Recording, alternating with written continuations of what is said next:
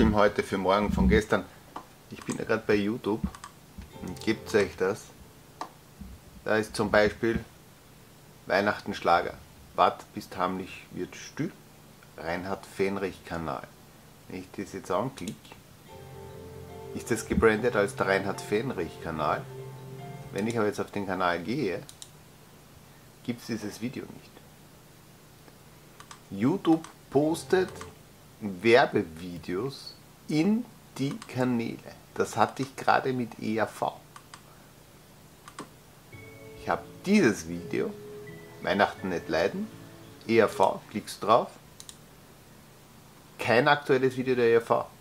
Leute, was machen die mit YouTube?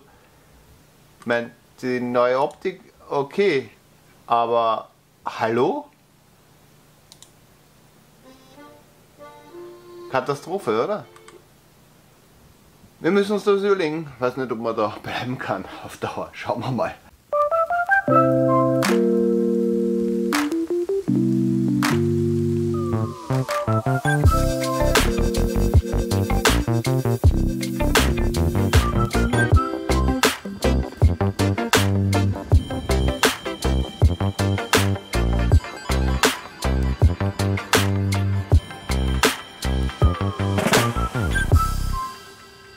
Es ist Feuer im Vulkan. Leider ist der Vulkan so weit weg, dass bei uns schon richtig kalt wird.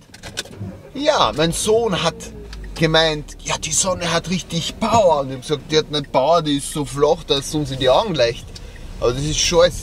Ich habe schon erfolgreich Eis gekratzt und davor fünf Minuten lang den Eiskratzer gesucht. Weil ich nicht ordentlich geschaut habe, so wie das ist. Zu unserem Thema von gestern. Diese Geschichte mit wenn man sich was denkt, wo man sich dann denkt, das kannst du dir doch nicht denken. Heute denke ich mir, ein bisschen auffällig sind manche Leute schon, oder? Herausstechend auffällig. Ja. Kommt vor. Macht nichts. Ist gut so.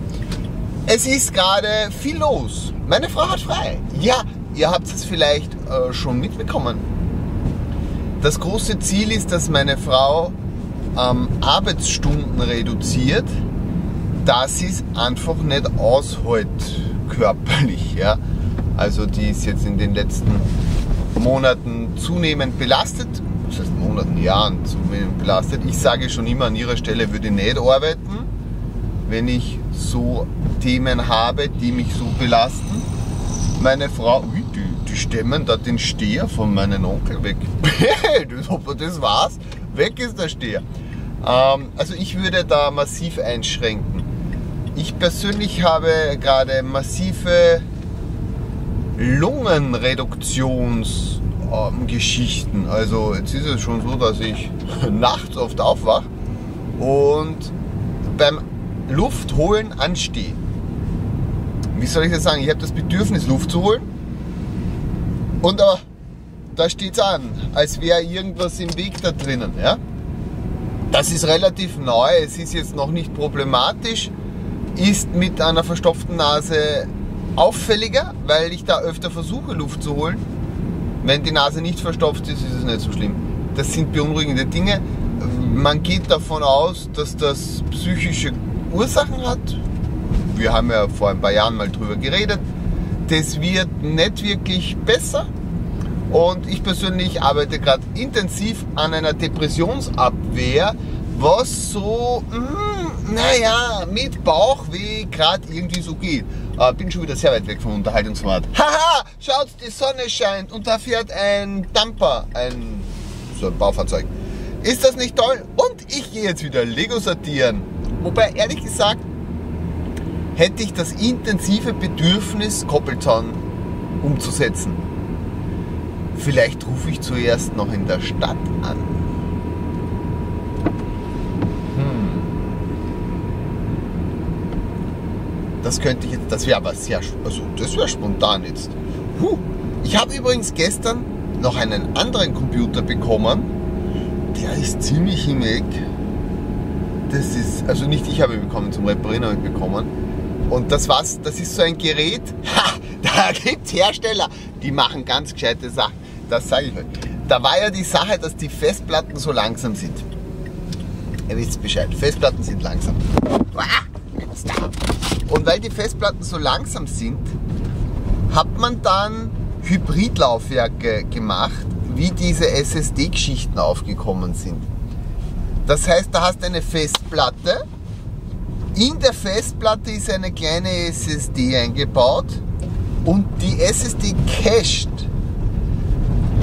Das ist jetzt am ersten Blick eine gute Idee, sage ich mal. Ähm, am ersten Blick heißt das, dass die Daten, die jetzt im Flaschenhals fest, mechanische Festplatte stecken, schneller durchkommen, weil sie auf der SSD gebuffert werden. Das ist die Laienansicht. Die Expertenansicht, ich meine, ist folgende, dass die SSD ja eine sehr kurze Lebensdauer hat. Also die SSD hält ja nicht einmal ein Zehntel der Zeit einer Festplatte. Diese Zahl ist jetzt nicht irgendwie ähm, technisch fundiert, das ist eine rein subjektive Gefühlsaussage, ja, die ich äh, gesammelt, die ich mir angeeignet habe aufgrund meiner eigenen Erfahrungen mit meinen eigenen Computern. Ja? Also nicht Kundenrechner, meine eigenen. Wenn ich von fünf Rechnern, die ich auf SSD umrüste, schon nach,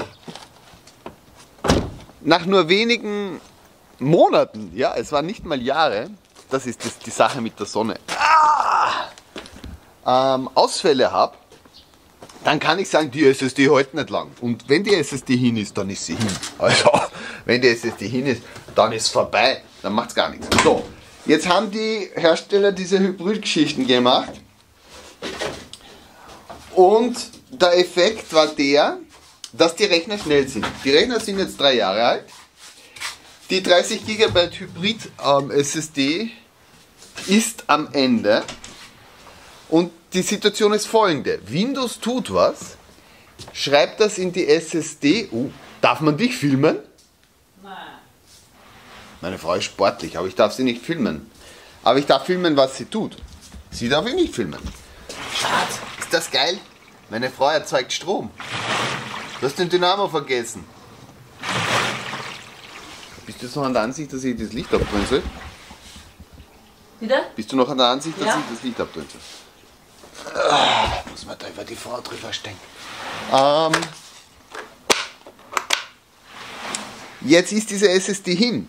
Windows schreibt auf die SSD und passt auf, ein RAID-Controller, das ist der, der spiegelt, der ähm, cache das in der SSD. Prost!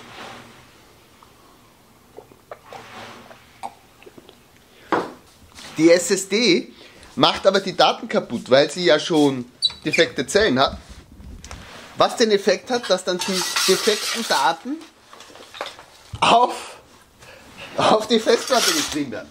Und das ist jetzt nicht so ein Hybrid-Ding, sondern das ist ein RAID-Controller in einem Notebook, in dem der Hersteller heute ein RAID-System aufgesetzt hat, damit er sagen kann, das Notebook ist schneller. Und im Test hat das Notebook natürlich super abgeschnitten damals. Und jetzt haben wir den Effekt folgenden.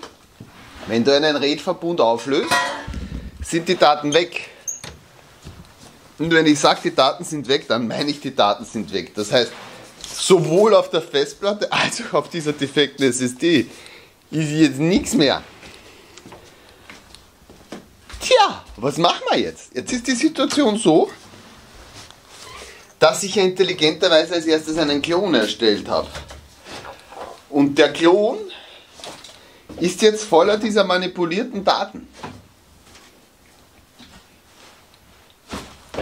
Und die Originalplatte ist anders manipuliert mit den Daten. Glaubt ihr, dass man da was retten kann? Ich glaub's nicht.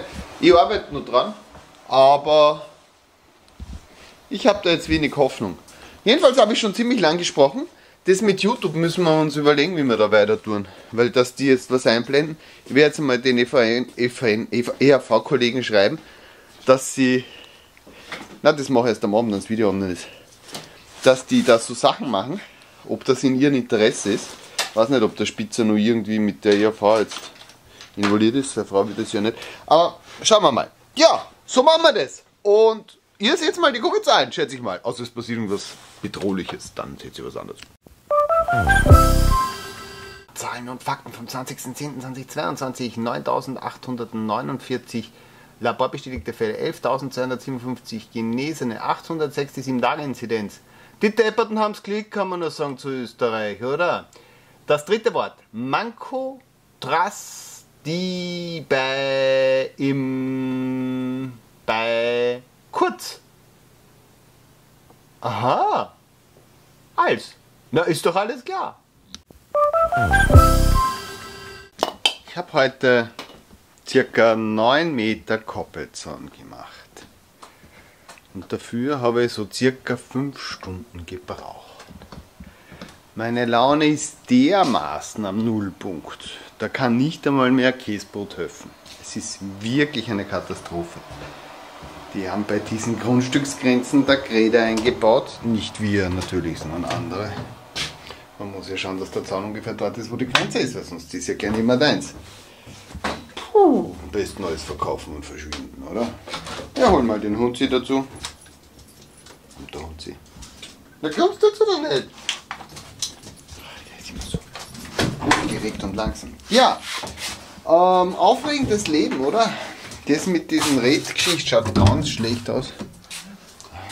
Wir werden das weiter verfolgen. Ansonsten wünsche ich euch noch einen wunderschönen Dingsti-Bumsti. Wir sehen uns morgen, hoffentlich hochmotiviert, denn morgen Abend bin ich in der Theaterei. Das wird fein, da freue ich mich schon. Und jetzt werde ich mit meiner Familie knuddeln.